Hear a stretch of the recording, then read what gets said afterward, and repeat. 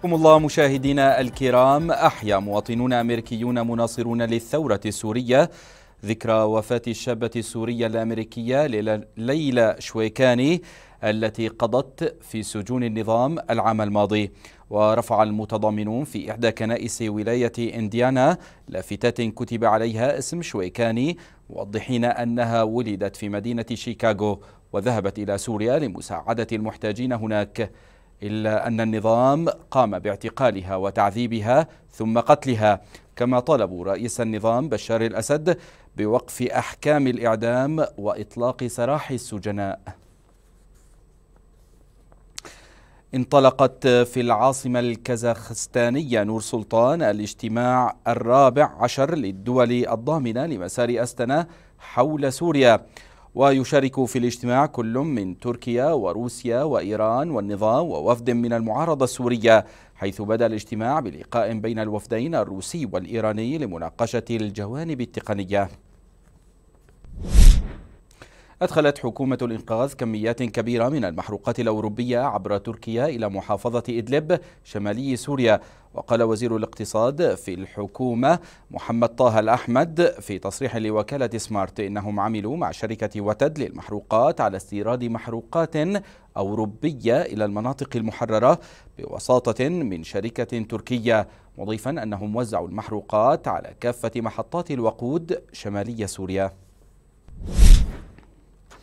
ارتفعت أسعار لحوم المواشي والدجاج في العاصمة دمشق متأثرة بانهيار سعر صرف الليرة السورية مقابل الدولار الأمريكي. ونقلت وكالة سمارت عن تجار لحوم أن ارتفاع سعر اللحوم يرجع إلى انخفاض عدد رؤوس المواشي نتيجة تهريبها إلى خارج سوريا إضافة إلى ارتفاع سعر كيلو العلف الذي يستخدم غذاء للمواشي. نشر تلفزيون الخبر الموالي تعميما صادرا عن رئيس جامعة دمشق يقضي بمنع أنواع من الألبسة وصفها بغير اللائقة داخل الجامعة.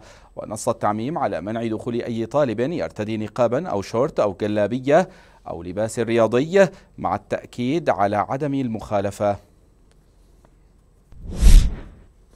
أصدرت مديرية الجمارك العامة التابعة للنظام قرارات بالحجز الاحتياطي على الأموال المنقولة وغير المنقولة لعم زوجة بشار الأسد طريف عبد الباسط الأخرس وأبنائه. وبحسب موقع الاقتصادي فإن قرار الحجز الاحتياطي جاء بسبب مخالفة بند في التعرفة الجمركية وهي مخالفة النوع وفق ما نقل الموقع عن مصدر في جمارك النظام. تستعد السلطات الماليزية لاستضافة قمة كوالالمبور الإسلامية بمشاركة تركيا وقطر وباكستان وإندونيسيا.